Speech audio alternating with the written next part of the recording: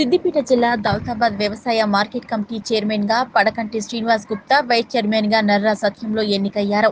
ఈ కార్యక్రమానికి ముఖ్య అతిథులుగా దుబ్బాక శాసనసభ్యులు సోలిపేట రామలింగారెడ్డి మేదక్ ఎంపీ కొత్త ప్రభాకర్ రెడ్డి హాజరయ్యారు. వీరి ఆధ్వర్యంలో పడకంటి శ్రీనివాస్ నర్రా సత్యంలో చైర్మన్ వైస్ చైర్మన్ల పదవులకు ప్రమాణ స్వీకారాలు చేపట్టారు.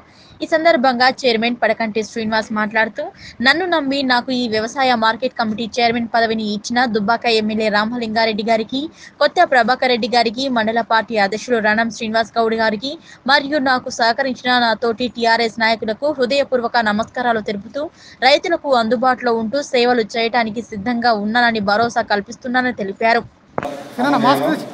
తెలంగాణ రాష్ట్ర ప్రభుత్వం తెలంగాణ రాష్ట్ర ప్రభుత్వం ఉత్తర్వు ఉత్తర్వుల ద్వారా ఉత్తర్వుల ద్వారా వ్యవసాయ మార్కెట్ కమిటీ వ్యవసాయ మార్కెట్ కమిటీ గౌతాబాద్ గౌతాబాద్ చైర్మన్గా చైర్మన్గా నియమింపబడినాను. నియమింపబడ్డాను. నేను నేను నా పదవీ కాలంలో నా పదవీ కాలంలో వ్యవసాయ మార్కెట్ల చట్టం వ్యవసాయ మార్కెట్ల చట్టం మరియు మరియు నిబంధనలను నిబంధనలు అనుసరించి అనుసరించి వ్యవసాయ మార్కెట్ కమిటీ వ్యవసాయ మార్కెట్ కమిటీ గౌతాబాద్ గౌతాబాద్ అభివృద్ధికి అభివృద్ధికి రైతుల శ్రేయస్సుకై రైతుల శ్రేయస్సుకై నిస్వార్థంతో నిస్వార్థంతో కృషి చేస్తానని కృషి చేస్తానని దైవ సాక్షిగా